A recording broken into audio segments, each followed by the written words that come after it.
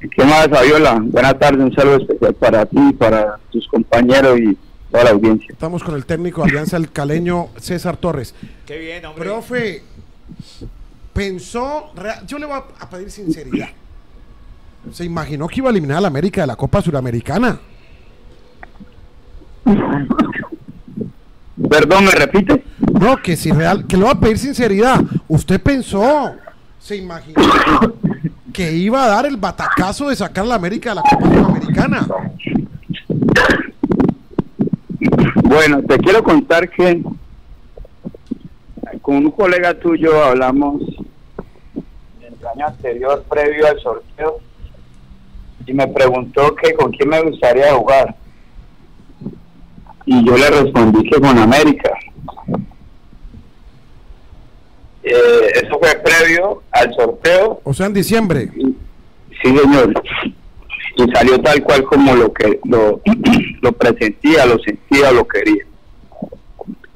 Pero, Y pero después, sí, sí, sí. después eh, no sé, nosotros como entrenadores desarrollamos una intuición, algo que, que nos hace, digamos, creer ciegamente en, en eso y, y teníamos mucha fe. Sabemos que no era fácil, seríamos, sabíamos que era un golpe de autoridad, un golpe en la mesa, como le quieran llamar. Pero el partido se empezó a planificar desde esa época con el entrenador que estaba en ese momento, con la nómina que estaba en ese momento, y empezamos a hacerle seguimiento y, y casi que día de por medio de- le hacíamos análisis a la nómina, a los cambios, al funcionamiento, y, y teníamos mucha fe, mucha convicción de, que a un solo partido podríamos dar esa sorpresa. Ya. Sí, pero cuando, a ver, usted está, esto, esto no es de la noche a la mañana. Usted está diciendo que cuando en el sorteo se confirma que el rival es América de Alianza, usted empieza a planificar y a hacerle un seguimiento, seguramente eh, riguroso, estricto, al América de Cali. ¿Qué conclusión le dejó ese seguimiento para haber superado? Porque es que uno dice, bueno, no, fue por penales o un gol ahí de carambola, de tastar. No, usted fue superior y con creces clasifica en Barranquilla y por eso da, da, da el batacazo de, de esta fase de, de previa de Sudamericana, fase previa a grupos. Entonces, en ese orden, profesor, ¿qué conclusión sacó para haber eliminado a la América? Es decir, ¿qué fue ese seguimiento que usted dijo, aquí va a estar, por aquí me tengo que ir, por este camino, y por aquí doy el golpe? Bueno, uno de los factores yo digo que era era la, la mitad de la cancha, los volantes que fuese utilizar yo y los volantes que fuese utilizar América. Yo digo que eh, ahí nosotros en, en intensidad y en dinámica eh, superamos a América. En este partido con los hombres que, que actuaron por América, por la manera como estaba jugando América, como venía jugando. Recuerda que él venía jugando con dos módulos, eh, uno con defensa de tres sí. y por momentos hacía tres en la mitad también con, con un volante central que normalmente era Luis Paz Sí. y dos interiores donde había uno, uno que era interior y vuelta y otro interior digamos ahí más volante de marcas que era Leis. O sea que era un equipo más como para atrancar no para, para ser ofensivo. En algunos momentos jugó con, con Cardona y Adrián Cho solos arriba sin extremos. Pero nos imaginamos que, que como eh, eh, efectivamente salió jugó con extremos para tener más volumen arriba. Entonces controlando la mitad y controlando los dos el tiempo jugar a espaldas que no recibiera la pelota clara eh, vamos a ir a matar posibilidades porque nosotros somos un equipo que sabe jugar que sabe atacar y que tenemos hombres con buena capacidad individual arriba entonces eh, esa línea de tres de nosotros con Ever con Colpa, con Manjarres y después con Flores, con Castillo y Orozco que remataron el partido cuando ya lo íbamos ganando. Siento que fue el factor diferencial que tuvimos y, y generamos mucha densidad y, y después nos encontramos con espacios. Ya. Eh, profe, eh, la, la, idea, la idea está clara, está suficientemente clara. Yo concluyo en que eh, el secreto del partido estaba en la mitad del campo. Y ahí en la mitad del campo era tenencia, generar, eh, asegurar, recuperar, asegurar y a partir de ahí plantear la posibilidad ofensiva del equipo.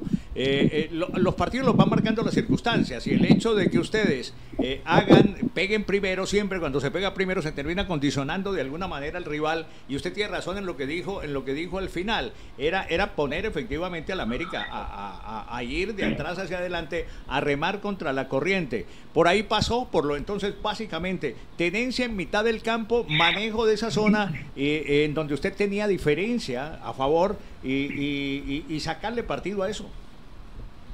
Sí, sí, estamos totalmente de acuerdo. Yo tengo, digamos, que a Ever, que es un, un cinco posicional, que te ayuda a sacar la pelota y que le hace relevos a todos.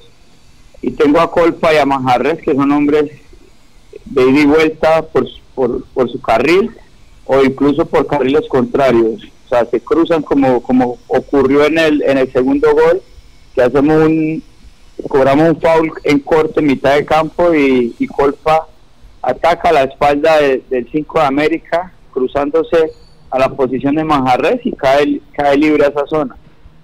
Entonces, eh, digamos que ahí nosotros sentíamos que podíamos ganar. Ahora, reconozco que América empezó mejor el partido que nosotros, que tuvo dos aproximaciones uh -huh. que también había podido uh -huh. pegar primero, pero que, que desafortunadamente para ellos no, no lo hicieron.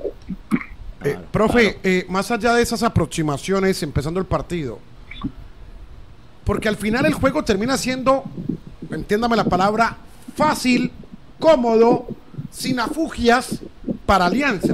Pudo haber un decir, más. Pudo, es más, el marcador real, acorde a lo que sucedió, era un 3 a 0. Eh, pudo ser si usted hubiera quedado 3 a 0, era el marcador acorde a lo que sucedió en la cancha. ¿Usted, le espera, usted esperaba más exigencia del rival, esperaba más del América o, o acorde a lo que usted dice que le hizo el seguimiento, esto es lo que usted esperaba de América? Lo que pasa es que ustedes lo ven desde otra óptica y, y, para mí el partido sí fue exigente. Lo que pasa es que después ellos, o sea, por ser un equipo grande, por estar viviendo, en ese momento un, estaban viviendo un momento difícil de resultados. No, todavía. Encontrarse, encontrarse con un 1-0 y después un 2-0, pues eh, digamos que hay desespero, hay, hay dejan espacios por ir al frente y nosotros ya con la tranquilidad de, jugar bien y de los dos goles, pues eh, vuelvo y te digo, tuvimos espacios y podemos haber, haber concretado una que otra transición mucho mejor como lo hicimos. Entonces, pero no, no es, a mi modo de ver, no, no es tan fácil ni tan cómodo como lo, como lo sienten ustedes. Eh, de hecho, nosotros lo vivimos al máximo, terminé sin voz porque era una final, no podíamos dejar pasar esa oportunidad y bueno, gracias a Dios todo lo que planeamos con mucho tiempo atrás nos, nos salió. Profe, yo, yo sé que un partido no se parece a otro, sé que una cosa es la sudamericana y otra la liga local, pero si unos días después viene y se enfrenta a la América aquí en el Pascual y se encuentra con una realidad en la que América, América se queda muy temprano, minuto 27, se queda, se queda con, con 10 la expulsión de Ibarbo. Se queda con 10 hombres. Y a partir de América, con 10 hombres, a mí me parece que ustedes, ustedes tienen la pelota, eh, generan, generan ofensivamente cosas, eh, no, no llegan a definición, ni mucho menos, pero creo que el partido cambia en el segundo tiempo. Creo que usted al final del juego, de acá del Pascual Guerrero, usted dice, asume cierta responsabilidad, porque es que en el segundo tiempo veo al equipo a veces apresurado, jugando a pelotazos, eh, permitiendo que América, que América en cualquier momento pudiera sorprender, que fue lo que terminó pasando. Eh, ¿Qué pasó en ese partido que, que, que, que, no se administró como debía? Porque me parece a mí que había una oportunidad clarísima de haberle vuelto a ganar a la América. Sí, sí, terminamos con mucha bronca, la verdad. Porque yo creo que ese escenario no lo volvemos a encontrar en mucho tiempo. Claro. Eh, bueno, el primer tiempo yo hago dos cambios por más no por funcionamiento ni por rendimiento sino por la parte física. Sentíamos que Colfa y Majarres eh, ya no estaban con la intensidad que queríamos o que necesitaba el partido y para eso teníamos un hombre más se, se, me ocurre a mí meter a Sherman y a Castillo hombre frescos y además un hombre de más para seguir controlando el partido con tenencia, pero a, su vez que Sherman y Castillo nos dieran ese juego entre líneas y, que conectáramos con los de arriba. Eso pasaba por mi cabeza, como, como bueno, esta es la oportunidad que tenemos para, para revalidar el resultado del miércoles y creo que lo estábamos haciendo bien durante el primer tiempo.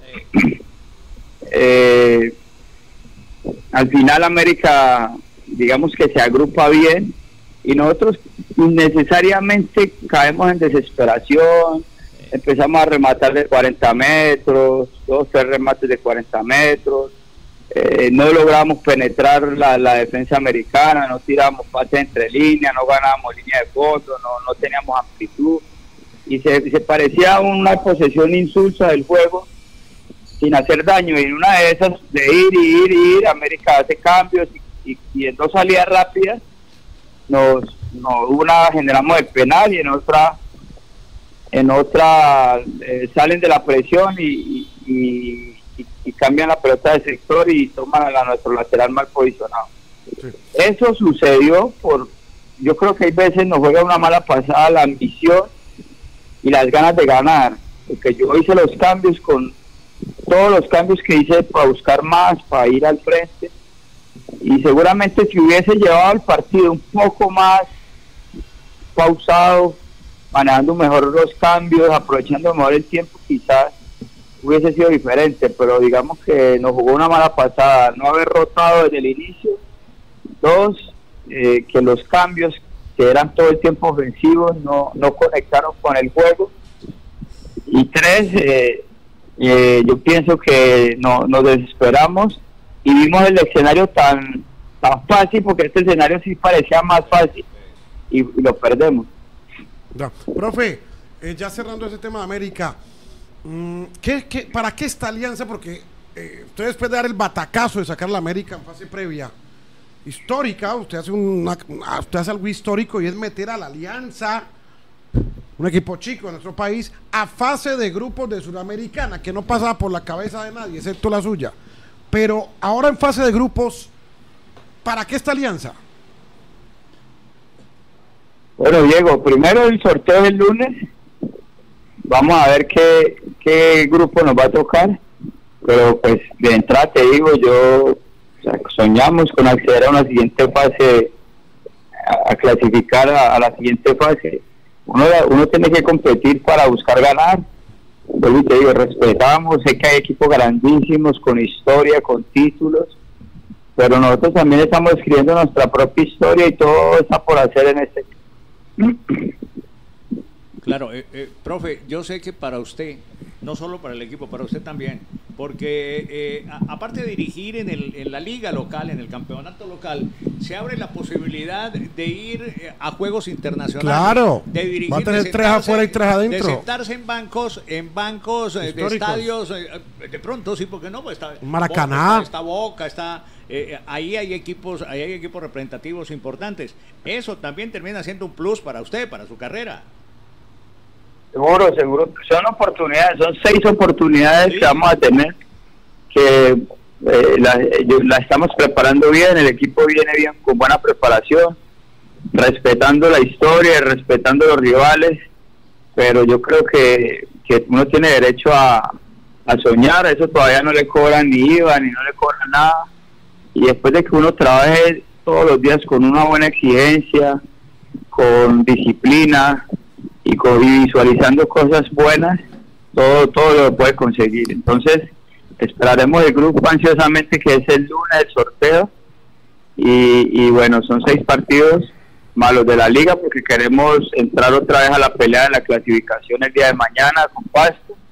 Eh, eh, seguir haciendo historia con este equipo. Lo, imagínate Pereira, todo lo que hizo, todo lo que avanzó y, toda la historia que voy creando y así se van, se van consolidando los proyectos. Eh, profe, la última, usted dijo que antes del sorteo quería que América fuera el rival como efectivamente lo fue en Sudamericana. El sorteo de la fase de grupo es el lunes. ¿Le ha pensado o le gustaría enfrentar algún rival en especial de los que están en ese sorteo del lunes? Sí, a Boca me gustaría. Claro, Ah, claro. le dijo Ese es- Willy. Ese es un plus, sin duda. ¿Qué pasó? Profe, profe una, una, una última, decía Diego que era la última. E- Esta es la última. Sí, de mi parte, usted que sí. es de- usted que es de aquí de Cali, ¿sí? Usted que ha hecho una carrera, una carrera importante, eh, estando en segunda y todo. Yo lo recuerdo, en, ¿cómo se llama? El equipo de Popayán, eh, el de don, don Hernando Ángel. Eh, Universitario de Popayán. En el Universitario de Popayán y demás y tal.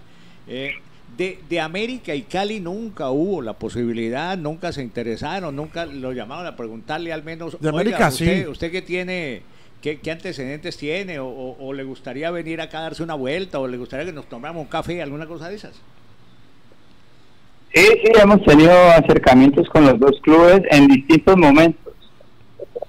En distintos momentos no, no ha coincidido, no, no ha llegado el momento todavía, pero sí con Don Tulio alguna vez hemos tenido conversaciones y con el Cali también cuando cuando el presidente era el Mejía, Sí, estuvimos, estuvimos cerca, eh, pero bueno, el tiempo de hoy es perfecto, seguimos haciendo carreras, seguimos construyendo el camino nuestro por acá, donde nos ha tocado.